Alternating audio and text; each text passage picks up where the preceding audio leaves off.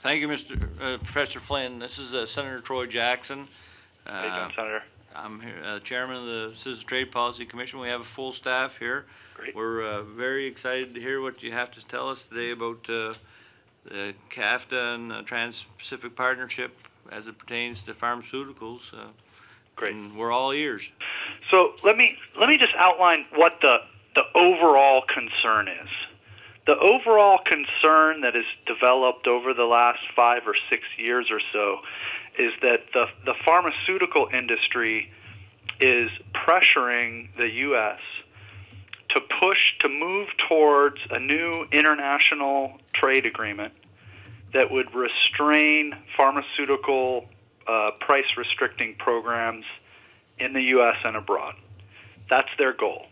Um, that goal is evident from the recent submission that was filed with the USTR by the Pharmaceutical Manufacturers Association uh, yesterday in what's called the Special 301 process, where they spend most of their submission outlining concerns they have with public drug reimbursement programs around the world that pressure their prices lower and therefore, in their view, extract a taking of their intellectual property. Now, the the specific steps that the and then the, so that's the overall um, agenda of the pharmaceutical companies. This has been expressed in a um, in a specific proposal that's put been put forward by Pfizer, that was joined by then um, Stanford professor John Barton, outlining um, just in, in abstract detail the outline of an of an international agreement that would restrain um, pharmaceutical price price restraining policies, whether they be through em- reimbursements or direct price controls, or various things, um, in wealthy countries, including the United States. So there's there's an outline of a policy, and there is various um, uh, pieces along the way where officials within the United States Trade Representative have expressed sympathy for various aspects of this policy and have began and have begun to put some of it in place in various trade agreements. So the the first time this policy came up was in the Australia Free Trade Agreement six years ago or so, and that was the first free trade agreement to have a, a, a specific pharmaceutical chapter. It outlined a series of, of what were then ultimately procedural restrictions carefully drafted to, to be targeted at Australia's um, pharmaceutical reimbursement program. The Australia has what most public health officials consider to be the best pharmaceutical reimbursement program in the world, and the main attribute of that program is that it sets reimbursement rates within its public sector based on expert expert qualifications of the um, efficacy of the medicine rather than through market power. And so through that program, a patented medicine that's no better than, than a medicine that's that's already on the market will not necessarily receive a higher reimbursement rate, for instance, just because it's new. Um, now the so the Australia uh, Free Trade Agreement had a series of restrictions. They're mainly about transparency and input into the process, and basically having kind of pharmaceutical companies be a seat at the table, so to speak. Um, and, and but there was a problem with it in that it it said that it applied to the federal level health programs in each country and didn't express how that would affect Medicaid programs. That ambiguity is still there. That concern is still there.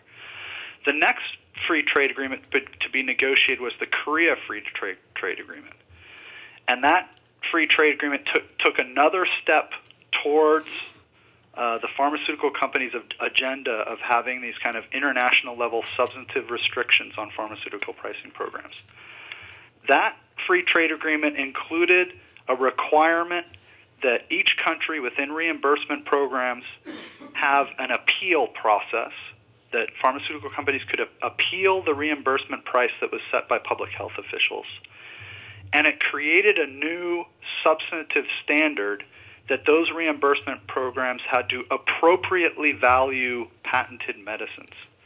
So it creates a, a, a, litigation, an opportunity for pharmaceutical company litigation over reimbursement rates, and it creates a new, extremely vague, not defined substantive standard that there's something about appropriately valuing patented medicines within that, within those programs. Now that that FTA, after um, advocacy by various state government officials, included a footnote carving out explicitly Medicaid from the operation of that program. It's extremely important just in the short term because Medicaid, as, as many of you I'm sure know, um, operates with preferred drug price listing programs and is itself a reimbursement program. And those preferred drug price lists work in essentially the same exact way as the, the, the foreign company, as the foreign country reimbursement programs that are being targeted by pharma and by USTR. And that's the concern that, that starting in Australia and, and coming through with Korea and to the present day, states have starting to bring up to USTR that they are, by climbing on to this uh, pharmaceutical company agenda and by, and by starting to implement facets of it, they're putting in place substantive standards restricting reimbursement programs that restrict that the standards themselves are not complied with by pharmaceutical reimbursement programs in the U.S. and specifically Medicaid. So there was an acknowledgement of that problem within Korea, which which resulted in a footnote carving out Medicaid from the program. But more recently, the um, the administration has engaged in a new uh, free trade agreement, which is now the TPP. So it's the Trans-Pacific Partnership Agreement. It's unique in that it includes a large number of countries. It includes Australia, which has which still has a strong reimbursement program that the pharmaceutical uh, companies are still upset about. It includes New Zealand, which has a reimbursement program that's similar to Australia. And it also includes a lot of poor countries Vietnam, Malaysia, Peru. The pharmaceutical industry has submitted comments to USTR asking for the same Korea standard with, um, with an appeal right and a substantive standard requiring countries to adequately value patented medicines within reimbursement prices. They've added a new standard that they're asking for, which they call freedom to prescribe, which is not defined, but you can you can read various things into that language. What what I think they ultimately want is for there to be no restrictions within reimbursement programs on what drugs doctors can prescribe. At least in its strongest formulation, it would probably make PDLs illegal because what PDLs, uh, preferred drug price lists, do is they set lists of preferred drugs within Medicaid reimbursement programs. And if a doctor wants to prescribe a drug off that list, they may, but they have to go through additional levels of approval. And so we have to ask ourselves whether whether that would qualify as a freedom to prescribe law or whether this new standard would, would strike it at that component of Medicaid as well. Of course, from the industry's perspective, they would like to strike at that. In the, in the past, when preferred drug price lists were put into effect in states across the country, they litigated against those programs all the way to the Supreme Court, trying to make preferred drug price lists illegal under a theory that Medicaid required freedom to prescribe and the preferred drug price lists were infringing upon that freedom. So it's it's on the record that they would love to use this kind of a standard to get rid of those kind of programs. We had a, a meeting representing the Forum on Democracy and Trade and the National Legislation, Legislative Association, Association on Prescription Drug Prices.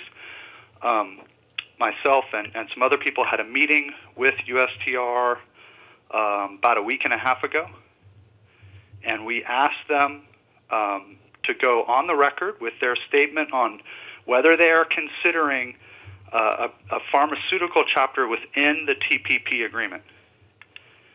And in a very finely worded statement, which which was on the record, and I can I can quote to you, I can send it to you if you want the exact language. They essentially stated stated that they were in the internal process right now within the administration of deciding whether to include a pharmaceutical chapter within their um, within their demands for the TPP. That that other countries sign on to that. The negotiators are in Chile right now today, uh, negotiating this agreement. The TPP is being negotiated as other free trade agreements entirely in secret.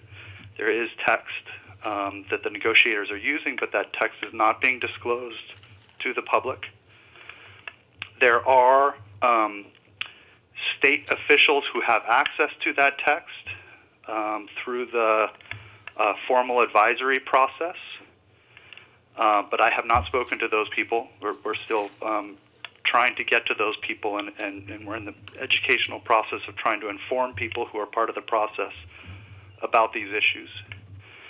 And and so to just kind of conclude about where we are, I think we essentially have two concerns. There's a short-term concern and a long-term concern, and these have been expressed in letters from uh, the governor in, of Maine and the governor of Vermont last year in the special 301 process, and and through uh, the National Legislative Association on Prescription Drug Prices and, and other individual states and collections of states. And, and the concerns um, are basically summarized like this. In the, the long-term concern is that, is that states really are and should be opposed to the overall agenda, that the shift of trade agreements – to create a new international framework restricting drug reimbursement programs is not in the best interests of states, that the overall goal of the companies pushing that program is, is to cover states and the federal government and other countries and to create a new international framework that would restrict the ability of states to respond to higher prices for patented medicines with, with a variety of regulatory tools. And that overall agenda, regardless of what the fine specifics of each proposal look like right now, the overall agenda is something that can't possibly be in the best interests of state governments or American consumers. That's kind of the, the long term, larger interest. The shorter term interest is, is we can't, um, we, we cannot get USTR to go on the record to state that it's not pushing a proposal in, in this specific agreement coming up now and um, so we would we would like to see that agreement. we would like um, we would like to ensure um, that ideally there's no pharmaceutical chapter in the agreement. That the, the position of states is to oppose the chapter uh, writ large. And then I suppose our kind of third level demand is to ensure, at minimum, that there's there's some kind of carve out of states although I think the position has evolved such that that there's a recognition that the carve out um, at, at best only gets you by one agreement. You know that the overall agenda is is um, the overall agenda does not include a, a, desire to continually carve out states. And in fact, if you look at pharmaceutical industry's latest submissions, they don't they don't ask for a carve out for states. Um, it's obviously not in not in their interest. So that's pretty much where we are, and I'm, I'd be happy to open it up for some some questions on the on the details or the overall framework.